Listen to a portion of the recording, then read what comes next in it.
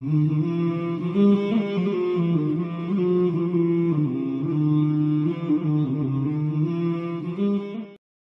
facts about the Bible I bet you never knew. Welcome back to another video in our series of funny facts about the Bible and Christian sources I bet you never knew. Today we have a very interesting topic for you, very touchy one, and that one is the topic of divorce, remarrying, and adultery. Divorce, indeed a very serious and undesirable reality, but a reality nonetheless. It is stated that the divorce rate is at or above the 50% mark in America. This is a serious crisis.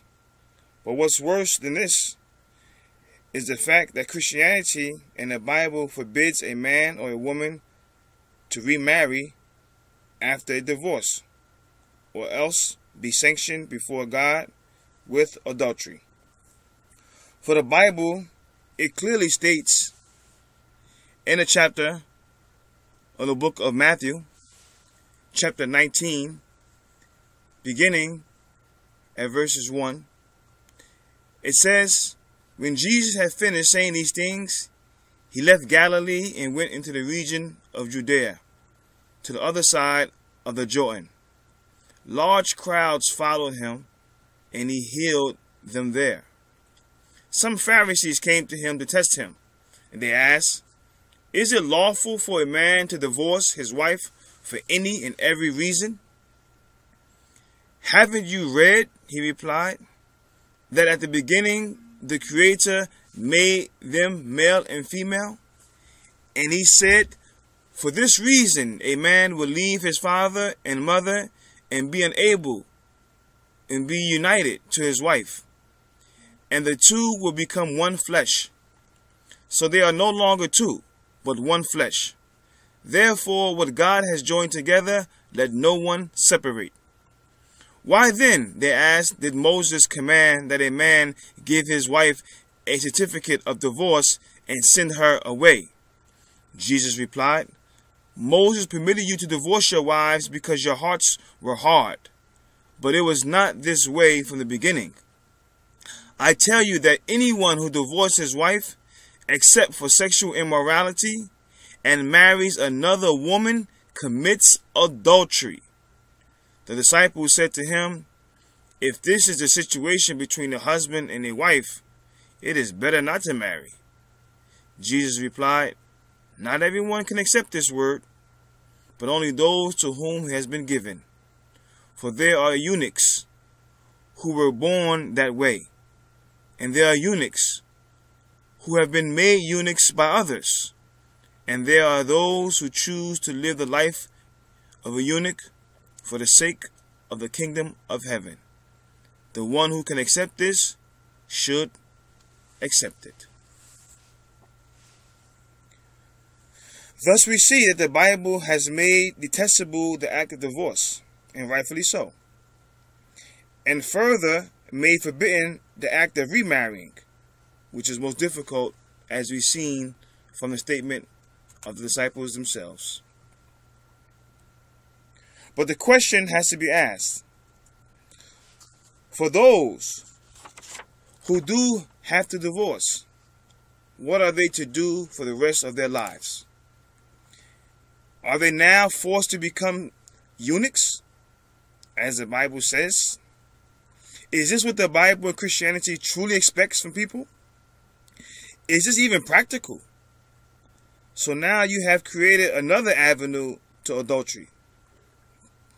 If remarrying is an avenue to adultery, and instead of remarrying, you impose upon the person to become a eunuch, a celibate, then this also opens up an avenue towards adultery, as we're going to see quite clearly from the words of Jesus shortly.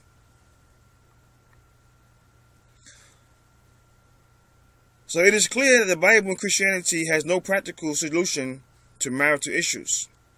Stay together no matter what. And if you do divorce out of violation of God's law, then stay apart no matter what. And if you dare to marry another, violating God's law, then you are forever an adulterer in a state of adultery no matter what. What a great religion this is. Let's say a spiteful, ungrateful spouse wants to leave the marriage, knowing that if they walk out, the other is stuck there, left to be alone until they die, if they follow the teachings of the Bible. Or be cursed with adultery forever if they remarry, according to the teachings of the Bible. If they follow the Bible, or they become eunuchs. And this is what the Bible says, as it states in Matthew 19 12, as we read. But then the challenge remains. Look at what Jesus says in Matthew chapter 5, verses 27 to 30. Let's see what Jesus has to say about those who remain eunuchs and trying to stay away from adultery. But listen to what he says what actually adultery is. What constitutes adultery, according to Jesus, other than remarrying? In the book of Matthew, chapter 5, verses 27 to 30, it says, You have heard that it was said, You should not commit adultery. But I tell you that anyone who looks at a woman lustfully has already committed adultery with her in his heart. If your right eye causes you to stumble, gouge it out and throw it away.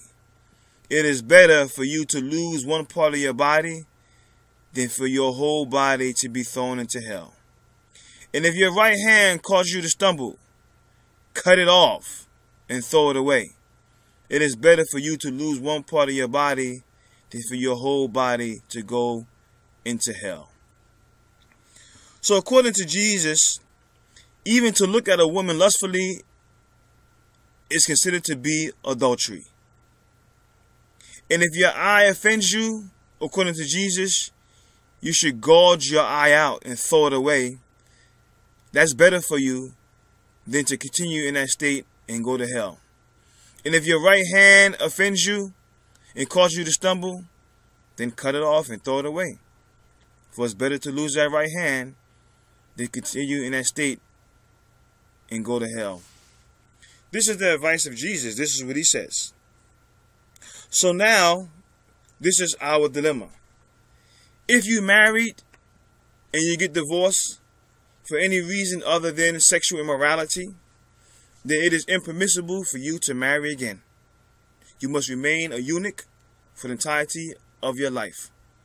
That means that if you and your spouse just becomes incompatible and it's just not working out for one reason or another, and you feel the pressures of divorce upon you and you can't stay with that woman or you can't stay with that man, even though neither one of you has committed sexual immorality, but the cohesion in the house is just not there and you cannot stay together peacefully, either you stay together in turmoil and stress throughout the duration of your lives, or you separate and divorce. But know for sure, if you do divorce on those premises, you can never marry again. And if you do, in fact, marry again, you are, in fact, guilty of adultery, both the man and the woman. And if you do stay celibate and become a eunuch or live as a eunuch, one who has no sexual organs, then that person is plagued with even the temptation of a woman or a man to be labeled as an adulterer and to be in a state of adultery according to Jesus. If you see a woman or you see a man that attracts you and it causes you to stumble, then according to Jesus, you should gouge your eye out and throw it away because that eye has done you no good. And it's better for you to enter into paradise maimed than to enter to hellfire whole. And if your right hand cause you to stumble, then it is better for you to cut it off and throw it away. For it is better for you to enter into paradise maimed than for you to go into hell in whole. This is the teaching of the Bible. So bottom line is, damned if you do, damned if you don't. Damn that Bible. This is all we want to present for now. Stay tuned for our next video in our series of funny facts about the Bible and Christian sources I bet you never knew.